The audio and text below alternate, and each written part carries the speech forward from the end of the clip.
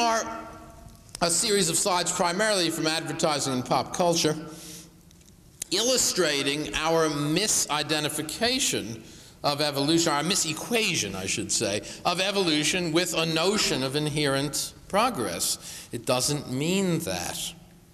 And yet, the only icon we know, the only picture we know of evolution, is the ladder of ascent from ape to human or from single celled creature up. Look, I'm not saying that this is literally what we believe. This is a caricature. That's why it's funny. That's why cartoonists and advertisers use it. But it's only a caricature of what we really do believe that there is a more general predictable form We wouldn't understand it as the primary icon of evolution if it weren't, in fact, a caricature of our actual beliefs, namely that there is, at least in a broad sense, a predict progressivist predictability to increasing complexification and evolution. These come primarily from cartooning and advertising.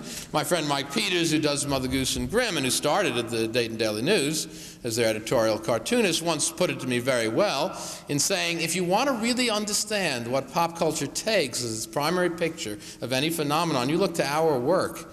Because as you're going through your newspaper, you're going to give one tenth of a second's attention to any drawing that you see. And unless it is the canonical drawing, the one that everybody understands, you'll pass it by. And that's why we have to use the drawing that people understand. So here is evolution in popular culture, and I know no more dramatic example of our continuing confusion of evolution with progress, and, our, and therefore, as Muller put it, our inability really to grasp the essence of Darwin's argument.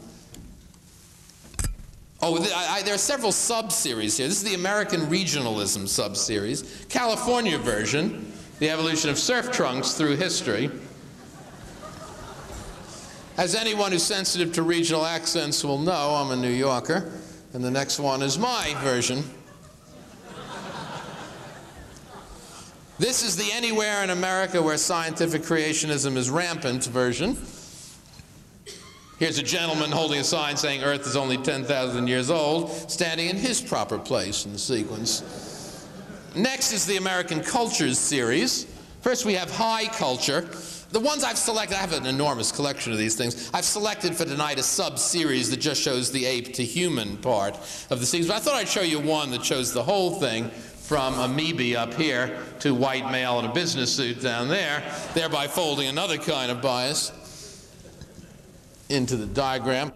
I don't want you to think I'm some elitist only making fun of pop culture. This kind of icon does not appear in professional publications as often, but sometimes it does. This is from the best available textbook on human evolution, Campbell's Humankind Emerging. And what do we see? The march of evolution from the chimp in the trees, who's not our ancestor but our cousin, up the conventional sequence. Australopithecus shown as stoop-shouldered, even though we've known since the 1920s they walked as erect as we do, up the conventional sequence. And let me mention another another kind of rather more pernicious bias embedded in here, which is unconscious. I'm sure if I pointed this out to the artist, that person would want every copy of this back, and deep six them all and start over again. But do notice the progressive lightening of skin in the racist tradition, and that's not because there's less hair, there's actually a lightening of skin. We do this so unconsciously, we don't even see the racist context out of which it came. How many of you noticed the first slide I showed?